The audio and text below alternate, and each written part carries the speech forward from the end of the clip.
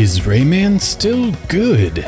Rayman is a side-scrolling platformer developed by Ubisoft and was a launch title for the North American PlayStation back in 1995. Around the same time, it was also released for the Atari Jaguar, Sega Saturn, in addition to the PC. As the years have gone by, Rayman has been ported to just about everything, but on today's episode, we'll be looking at the PlayStation original. As one would expect from a game spawning numerous sequels and spin offs, Rayman was a commercial success, putting Ubisoft on the map and cementing Rayman's place in video game history. And of course, it was also a critical success. Electronic Gaming Monthly scored the game an 8.6 out of 10, stating, If you've seen the mascot concept done to death, you've never played Rayman. There are tons of techniques and loads of gameplay that complement the cool sounds and awesome eye candy. Game Fan magazine gave the game a 9.1 out of 10, noting, Rayman has such amazing graphics and art that it slides into the lofty category currently occupied by only one other, Astal.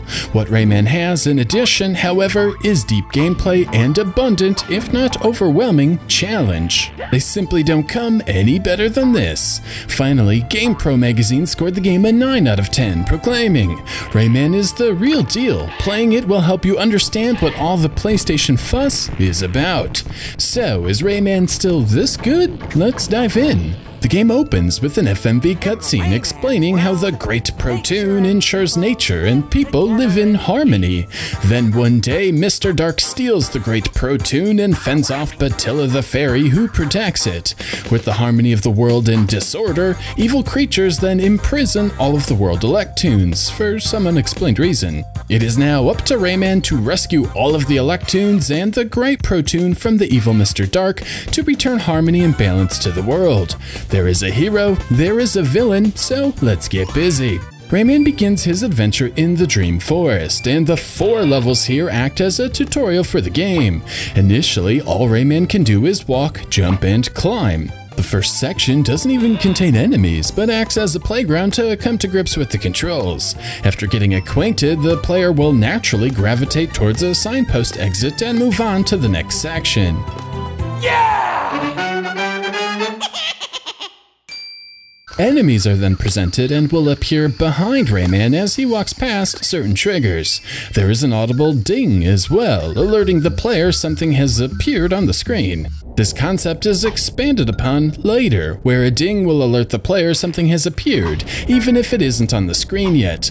Another thoughtful touch is putting a vine right above this new enemy. Jumping on the vine will cause the enemy to leap up, teaching the player the enemy pattern out of harm's way. Make it through this area, and Betilla the Fairy will grant Rayman the power to punch, and the cleverness continues.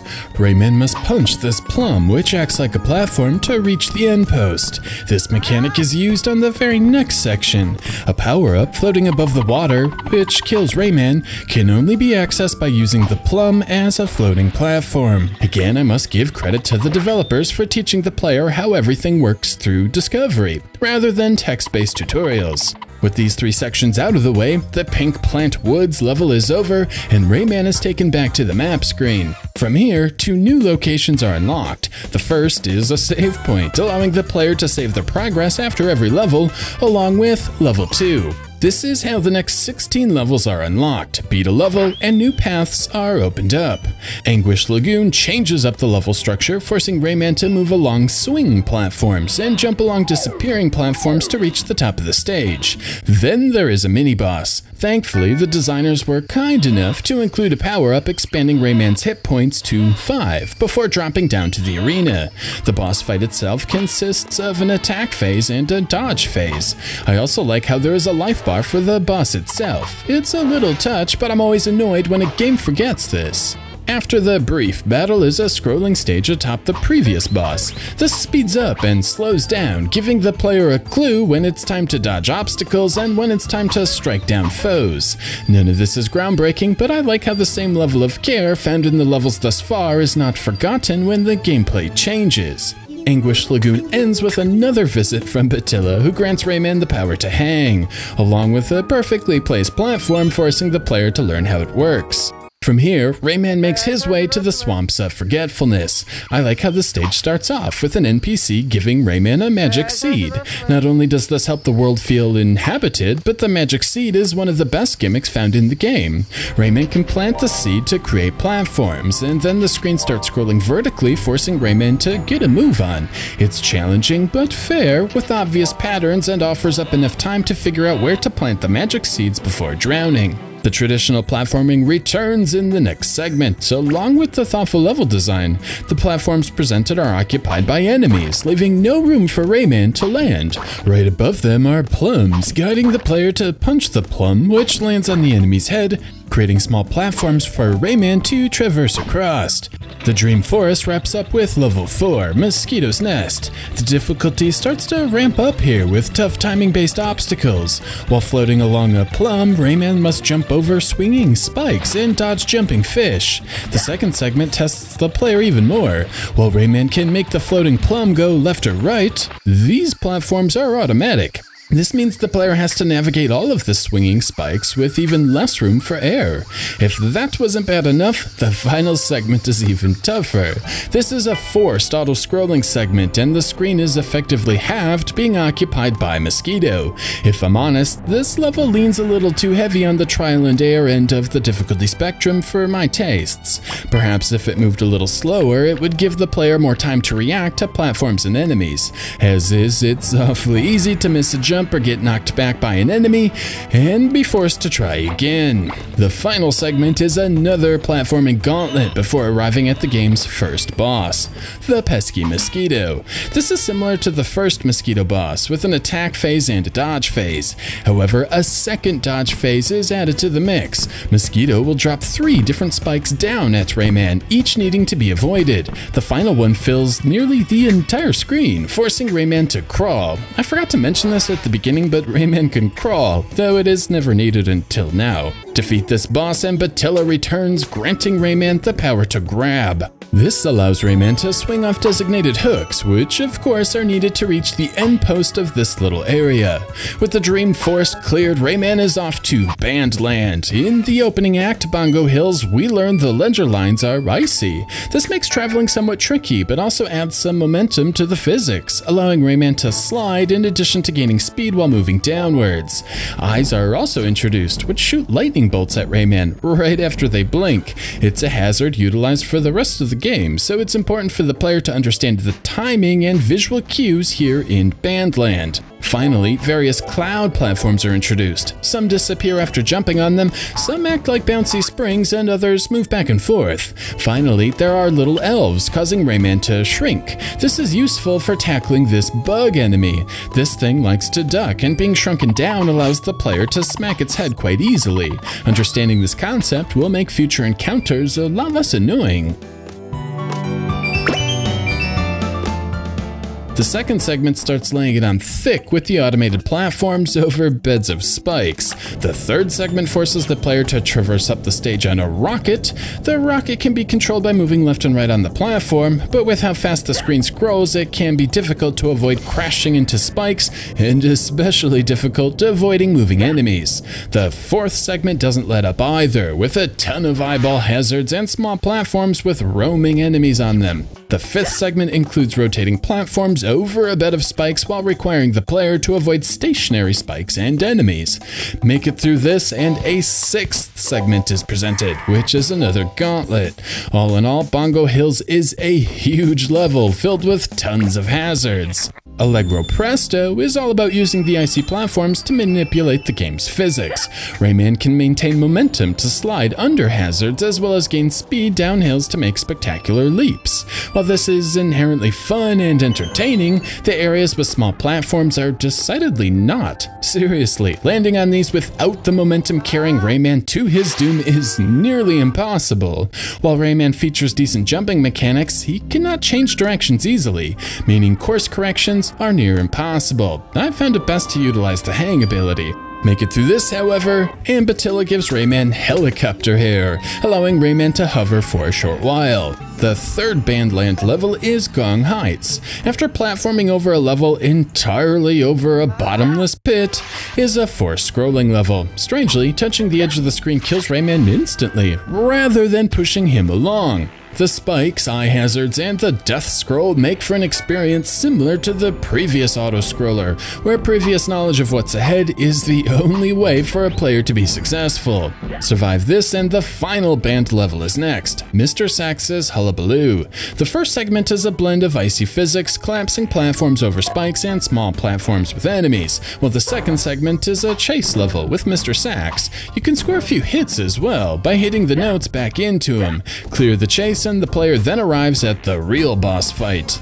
Like the boss fight against Mosquito, the fight is all about memorization. Die a dozen times while learning all of the patterns, and it becomes easy. I found this triple bomb attack to be especially maddening, but once I figured out the exact location to crawl, dodging it becomes routine. But man, the journey to learning it was tough. Defeat the saxophone and Rayman can progress to the third world, Blue Mountains. The eighth level is Twilight Gulch. While the grabbing mechanic was introduced long ago, the diviners really started utilizing it here. Plenty of practice was offered for players who wished to travel off the beaten path and master the mechanic earlier, which is then reinforced from here on out. There are also exploding lava rocks, where the player needs to learn how they explode and then find safe spots to avoid taking damage. Another gimmick reinforced are those trigger events. Right away at the beginning of the game, a chime would sound and then enemies would appear appear. Here, after reaching a certain spot on the screen, a cloud will appear. Failing to trigger this event and progress forward is impossible. This first segment of Hard Rocks is made of long rides on moving cloud platforms where the player needs to jump, duck, and punch at the appropriate times to avoid getting knocked off the cloud to the death pit below before moving on to some traditional platforming. Mr. Stone's Peaks then brings back an NPC and a new gimmick. After freeing his guitar from a boulder, he gives Rayman a blue drink, which offers super helicopter hair. This is level specific, and the first segments of this level require its use. Basically, Basically, the player needs to occasionally press the jump button to keep Rayman in the air. Unfortunately, the ceiling, floors, and walls are usually covered in spikes, requiring a delicate touch. To make matters worse, there are plenty of moving spikes, making progress even more treacherous. Reach the end and Rayman finds himself below a falling platform. Here, the player needs to avoid the bird enemies, which charge at Rayman, while also using the super helicopter hair to break through the rope to stop its descent. Fail to do this in time and Rayman will get crushed at the bottom of the level. Then it's time for more platforming up a vertically scrolling level survive the flood, and the level ends near the summit, complete with snow and some more icy platforming before arriving at boss number 3, Mr. Stone. By now, the pattern set forth is pretty clear. Mr. Stone has a dodge phase where various projectiles must be avoided, followed by an attack phase where Rayman can finally score some damage. Fail to memorize the patterns and you're bound to take damage. There is simply little room for error. As you're probably getting sick of me describing each level in detail, let's go ahead and summarize summarize the final two worlds. The gimmicks presented are similar, and the gameplay mechanics remain the same. Eraser Plains mixes the berry gimmick from the opening level with plenty of moving platforms and pits filled with ink offering one-hit kills. This concludes with the mini-boss against a Viking pirate lady. She shoots knives, which either need to be avoided or used as a trampoline to finally land some hits. From here, Rayman has to platform through Pencil Pentathlon and Space Mama's Crater, which continue the onslaught of automated platforms and ring jumps over bottomless pits. Make it through the obstacle courses and the fourth major boss is revealed, Space Mama. The fight is a touch more complex than the battles preceding it. First is a simple game of cat and mouse, where you land a hit when her head is exposed and then dodge her laser attacks. After this is the dodge phase, where the player needs to run and crawl around the screen dodging various bomb formations. Finally, there is the washing machine phase. During this segment, the player must land hits on the washing machine acting as a shield. Even after a couple of playthroughs, this segment right here caused me quite a few deaths. Dodging the laser attacks is hard, as is avoiding the washing machine after it's been destroyed. If you manage to take down Big Mama, a cutscene plays alerting the player Mr. Dark has kidnapped Betilla the Fairy. From here, we're off to the final three levels in the Caves of Skops. A majority of Crystal Palace is Old Hat. There are tons of small platforms over death pits, tons of hanging jumps over death pits, and tons of rotating spikes over death pits. Eat at Joe's features a segment where the caves are dark and the only thing visible is Rayman and his flying fist. Mr. Skop's stalactites is like a roller coaster along some electrical lines while riding small platforms. But mostly, it's hard platforming over spikes and death pits. Past the test and Rayman arrives at the fifth boss, Mr. Skops. Like Mr. Sax, Mr. Skops is broken into two stages. First, the player needs to survive a trio of obstacles. First, collapsing platforms, then more collapsing platforms, and finally, some hanging jumps.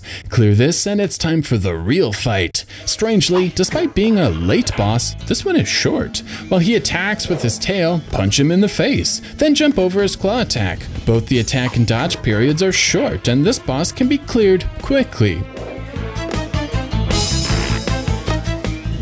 After clearing the 17th level, Nothing happens. There is a location on the map appearing to be a level, but a path doesn't open. It turns out there is still a ton of work to be done before the player is allowed into the last level. During the opening cutscene, the game mentions the Electoons have been captured. In order to access the last level and take on Mr. Dark, Rayman must locate and destroy each and every cage found in each and every level. You'll notice on each level is a medallion with six spaces on it. When an Electoon is freed from a cage, an Electoon face will fill one of these empty spaces. Find all six cages on a given level, and the entire medallion turns into an Electoon face. Some of this involves backtracking, as some cages in earlier levels require the use of upgrades received in later levels. Once the final power-up is acquired, the run upgrade, one could conceivably collect all of the cages from that point forward with no backtracking.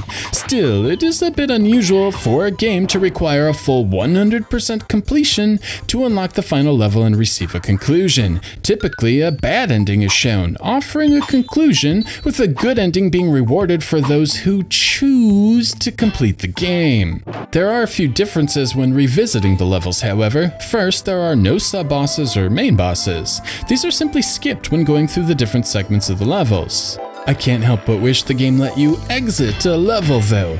Bongo Hills is a whopping 6 parts for example, and having to travel through all 6 parts when you just needed one or two cages is a waste of time. You can exit the first part of any stage however, as there is an exit sign found at the beginning of all 17 levels, perhaps including this for all segments after a level has been beaten would have been a way to reduce what feels like padding.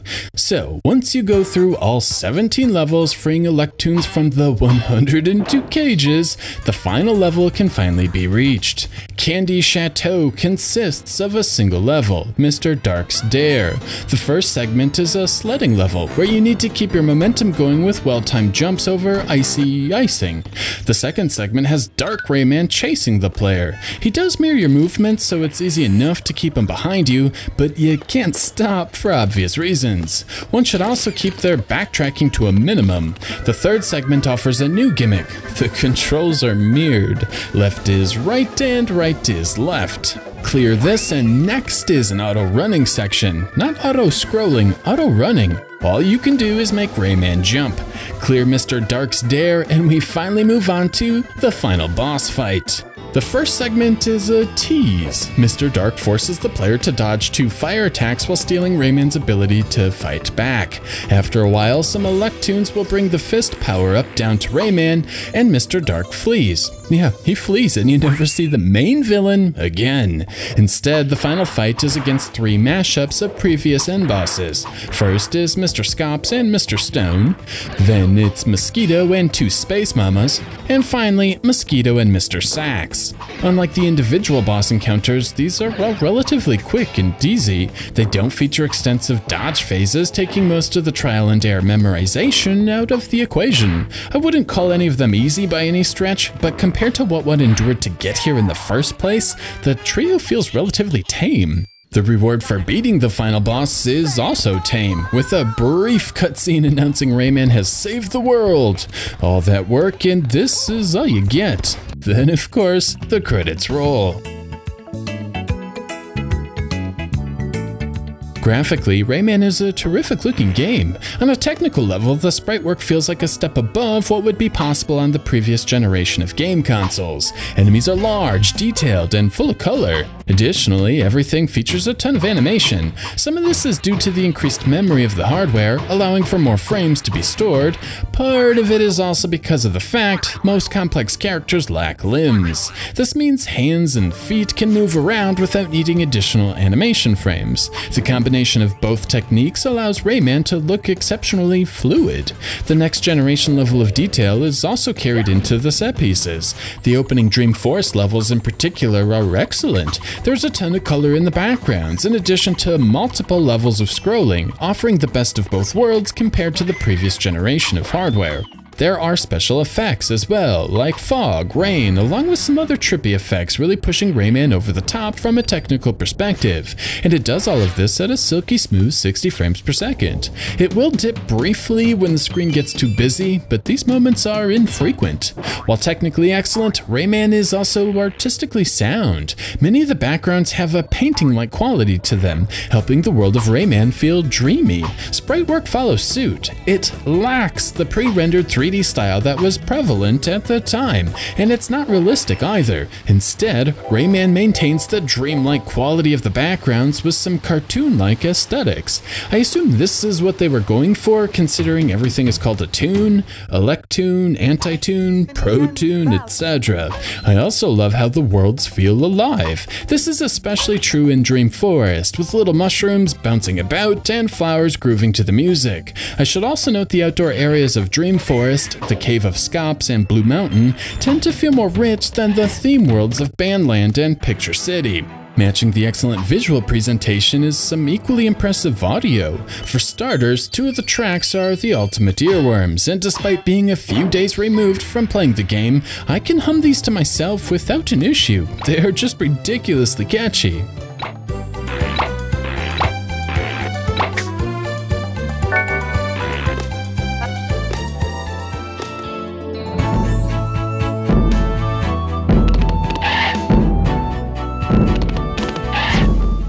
Rest of the soundtrack isn't too shabby either. There is ambiance, some jungle music, suspenseful tracks, garage band jam sessions, jazz, chanting, funk, and even new age. It's all absolutely fantastic, and there isn't a weak track found in the entire game.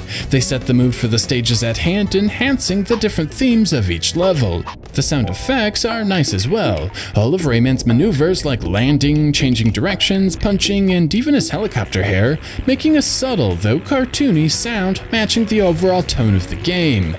There really isn't much to say. Rayman simply sounds amazing.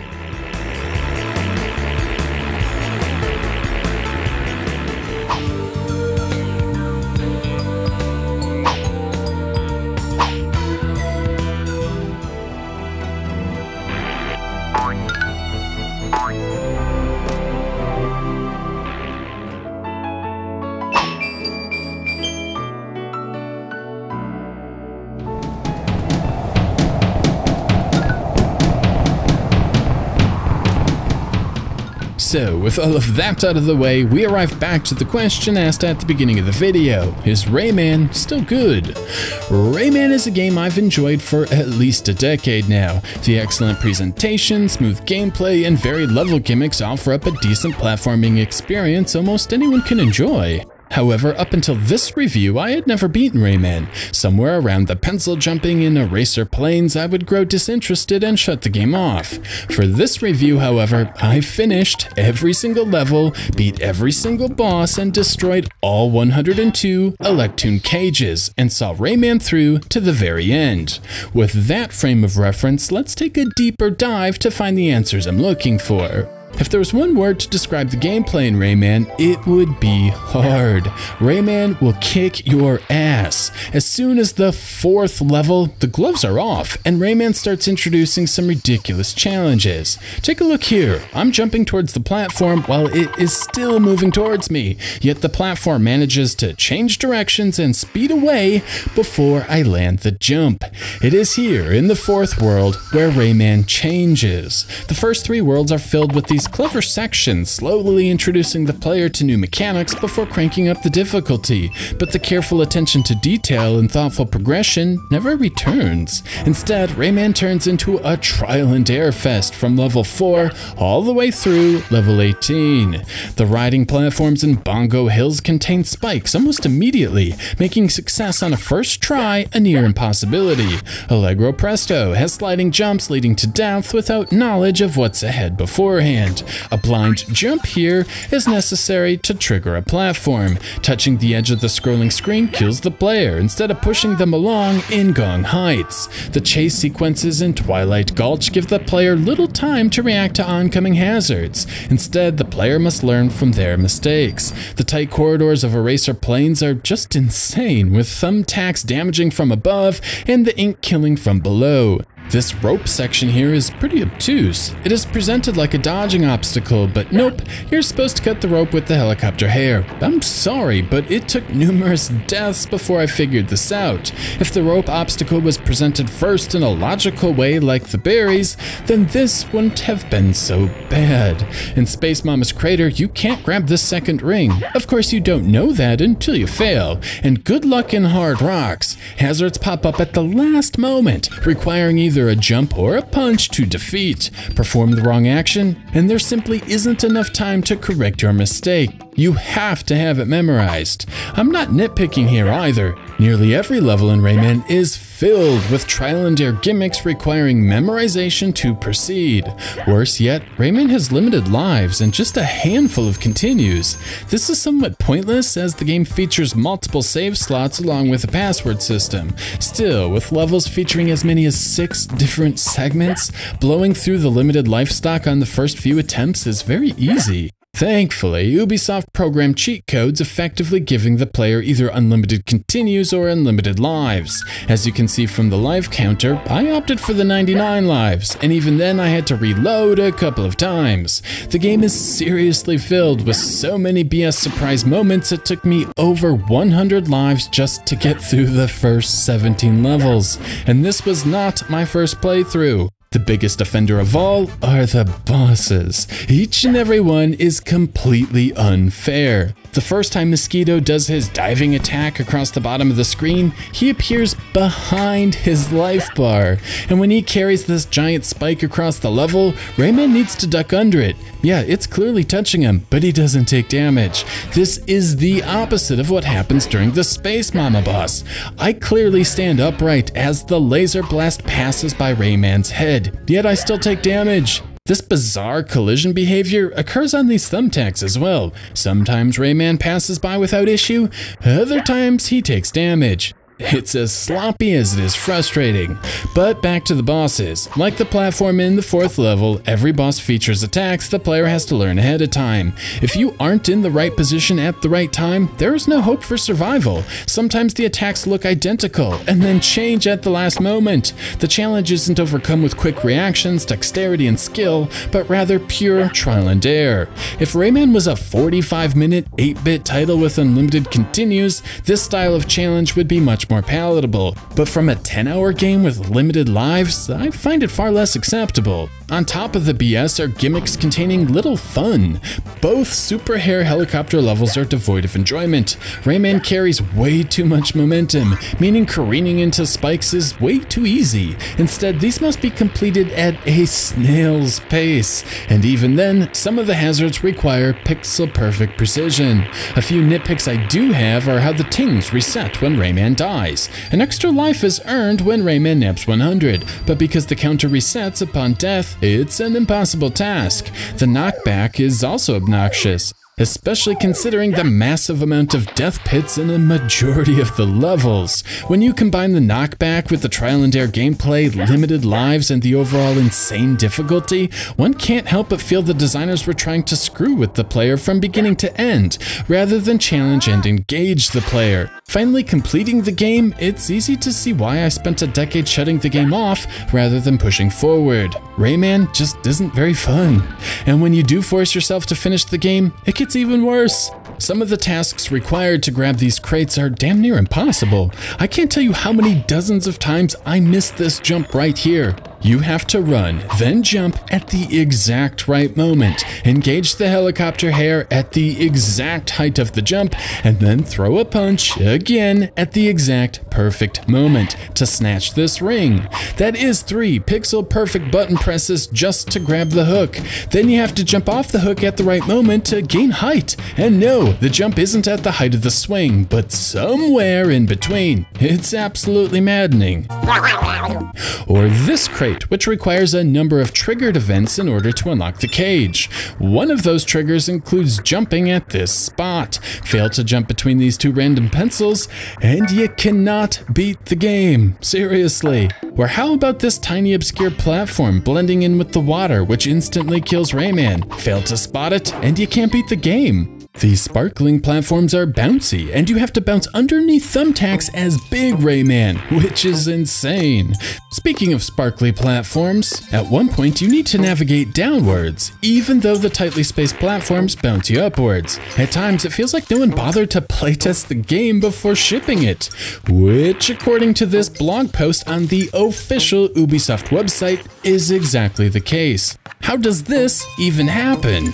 Even some of the one-off gimmicks are implemented better in older games. The sledding section, for example. Get it wrong and you are just sort of stuck. This doesn't happen in Chuck Rock 2, Son of Chuck, released two years prior. The light section is also a pain, with enemies hitting Rayman that are impossible to see, over death pits no less. This doesn't happen in Mickey Mania, which features a much larger light window, allowing a fair chance to see enemies and no bottomless pits, so Mickey doesn't die when you miss a platform you might not have seen. This was released one year prior. So, with all of that in mind, I would say Rayman is not very good. I'm not saying this is a bad game, but the design elements used to challenge the player feel incredibly dated. The trial and error gameplay with the surprise hazards and questionable enemy placement lack the polish found in the visual and audio department. The challenges, which are actually fair and presented in a way the player has a chance at success with skill alone, are long marathon levels. These days, these types of mechanics would be presented as short levels, offering quick satisfaction upon completing a few brutal tasks.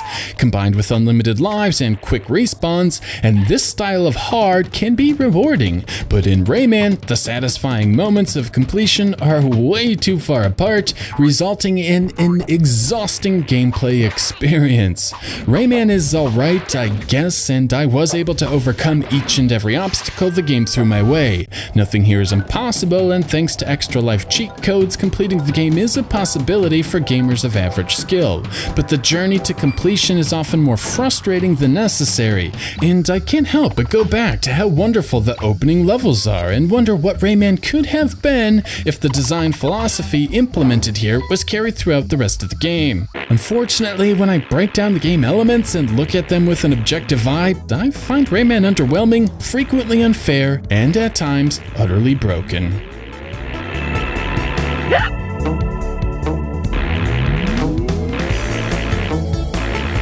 Yeah.